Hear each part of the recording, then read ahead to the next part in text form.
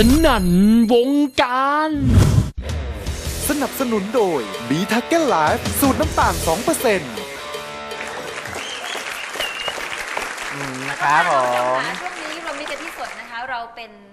ายการสดแบบพิเศษเลยนะคะคเพรับราะวันนี้เราจะมาพูดคุยกันในถึงเอ่อเรื่องราวพระป่าสามัคคีซื้อที่ดินสร้างพระมหาเจดีย์พุทธคยาประเทศไทยนะเอ่อมีอยู่ช่วงหนึ่งนะคะที่ทางเอ่อคุณโคสิตนะคะแล้วก็ครับผมอาจารย์กมลได้เคยมาออกรายการของเรานะคะได้ครับมาโชว์เพลงแล้วก็ได้มาพูดถึงเรื่องราวของพุทธคยาไปแล้วครั้งหนึ่งนะคะ แต่ว่าวันนี้เนี่ยเราจะมีแขกรับเชิญเพิ่มมากขึ้น และจะมาพูดคุยลงลึกรายละเอียดมากยิ่งขึ้นนะคะว่าบุญใหญ่พุทธคยาของประเทศไทยนี้เนี่ยมีที่มาที่ไปและเป็นอย่างไร คราวนี้เราจะมาพูดคุยกันในตอนที่ว่าพระป่าสามัคคีนะคะ ซื้อที่ดินที่ดินสร้างสร้างพระมหาครับ เจดีย์ค่ะ ขอต้อนรับแขกรับเชิญทั้ง 7 ท่านก่อนเลยนะคะ สวัสดีค่ะ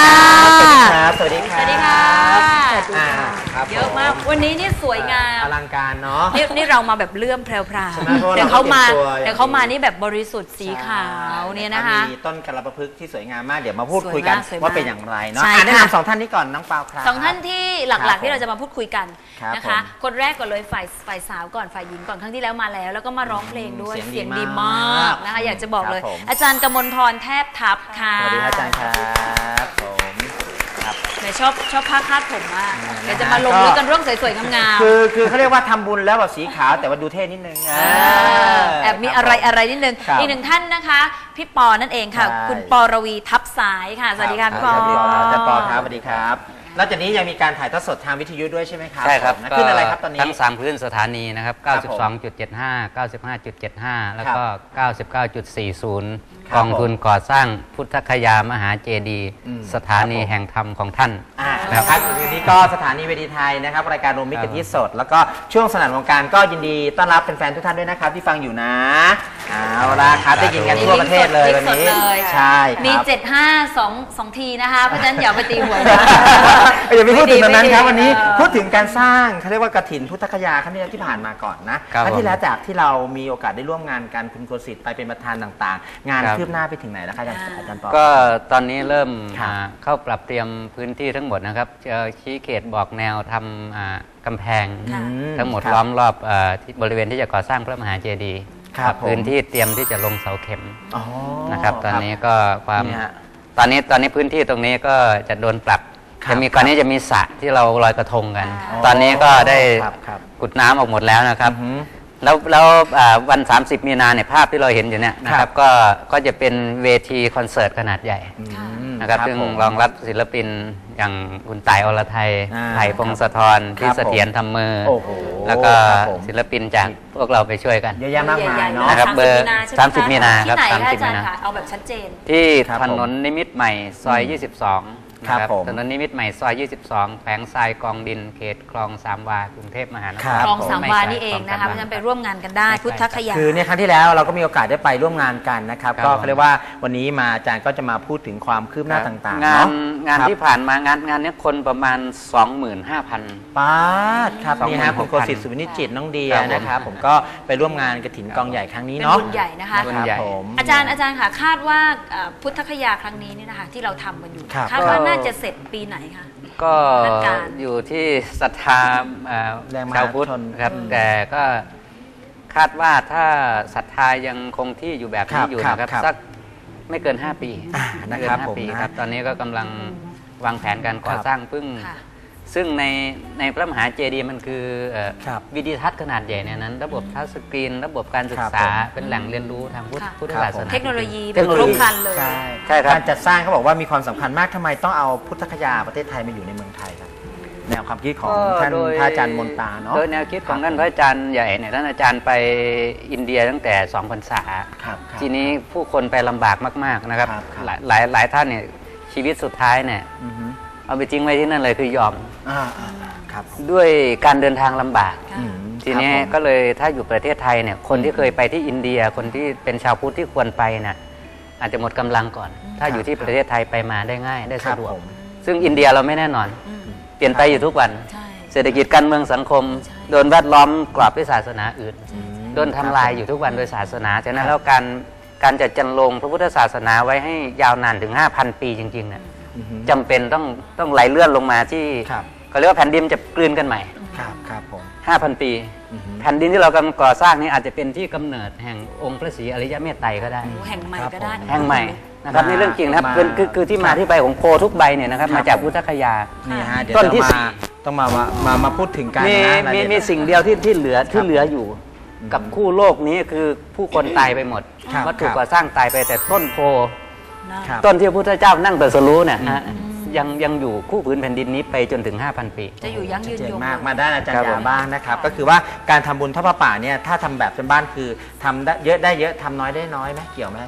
อาจารย์ยาอ่าครับจผมริงๆแล้วการครับค่ะครับผมครับผมขออภัยค่ะครับก็การทำบุญนี่ก็คือขึ้นอยู่กับศรัทธาครับนะคะ ถ้าเรามีความตั้งใจและเรามีศรัทธาครับผม อย่างมุ่งมั่นเต็มที่ตรงเนี้ยครับก็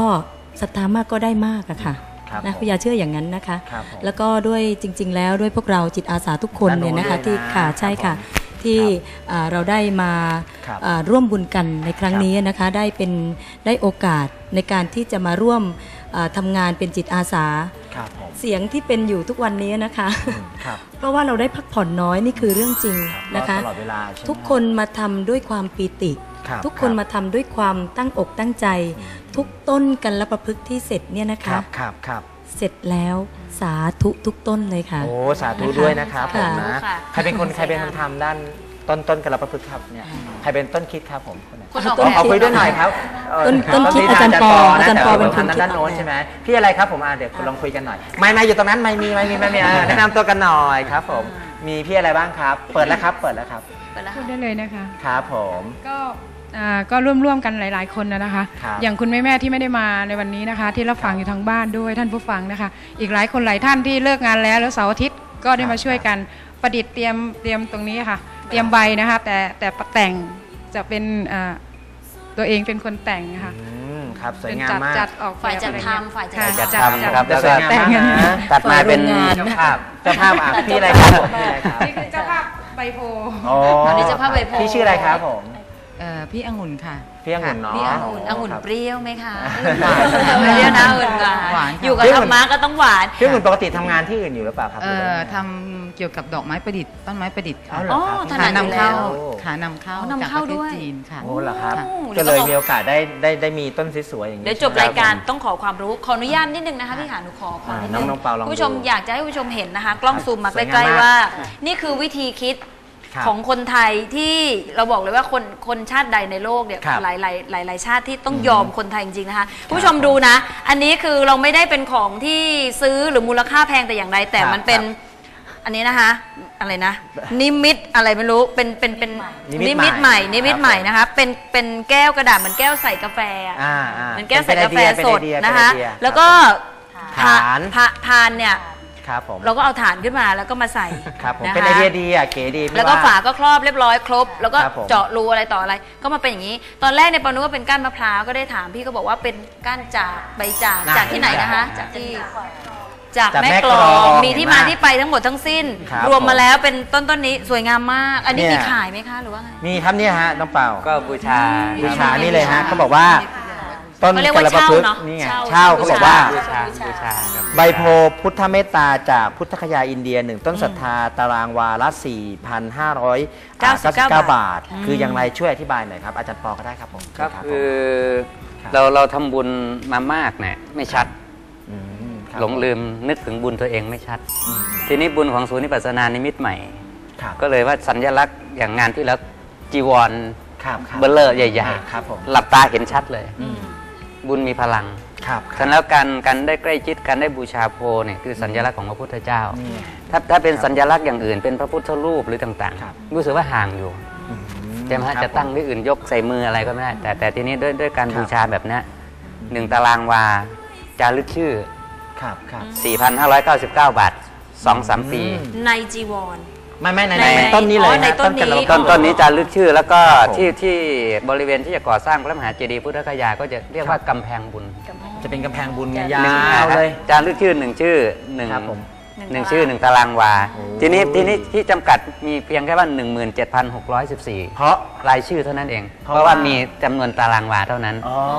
จบแล้วจบเลยครับผมอะจบแล้วใครอยากจบเลยจะเป็นหนึ่งในนั้นก็รีบครับเลย ก็ได้ต้นโพไปบูชาเป็นของที่ระลึกมอบให้เลยนะครับ อันนี้โพของจริงนะคะของจริงครับคือเอาเนี่ยใครใครที่อ่าเขาเรียกว่าร่วมบริจาคในการสร้างอะครั้งเนี้ยคือตารางวาละ4,599 4,599บาทเนี่ยอืมก็จะได้ต้นโพ